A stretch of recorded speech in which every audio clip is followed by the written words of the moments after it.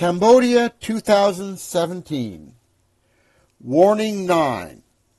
Great service and a cheeky beverage. This is the ninth segment of the story of my trip to Cambodia. It was a hectic 18 days.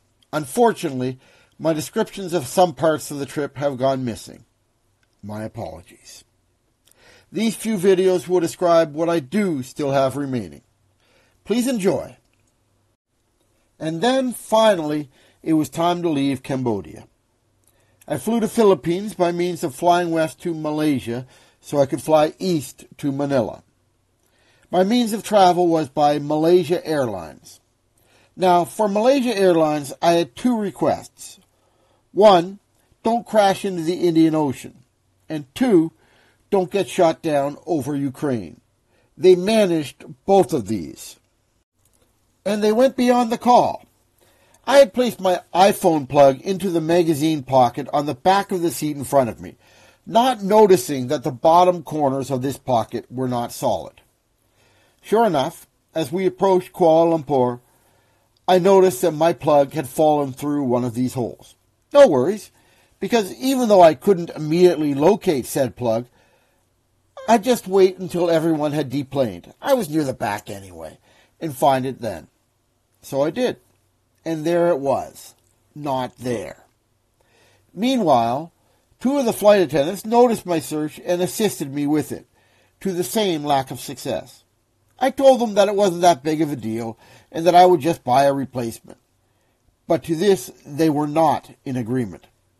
Once discovering that I had a long layover and thus was not in a rush, they bade me wait just off the plane whilst the cleaning staff would locate my lost item. They even told the curious security guy there why I was loitering in the ramp planeside, and after about ten minutes, my plug was returned to its owner. Very impressed with the service. And then an 11 hour overnight layover at Kuala Lumpur's main terminal. It took me a bit to figure out the shuttle to get to the satellite terminal that was to be my disembarkment location. But then it was off to their 24 hour lounge, complete with shower. There is a three hour time limit at this lounge that I exceeded by a good six hours. That said, I was not the only such naughty boy. Plus, I had a free beer at the lounge, adding to my naughtiness quotient by actually partaking in an alcoholic beverage in a Muslim country. Great beer.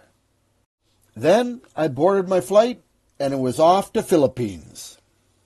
That's it for the ninth portion of my trip to Cambodia. Unfortunately, as stated, much of my original descriptions of my visit to this country have been lost. Please accept, with my apologies, the stories and photos that I have been able to recover.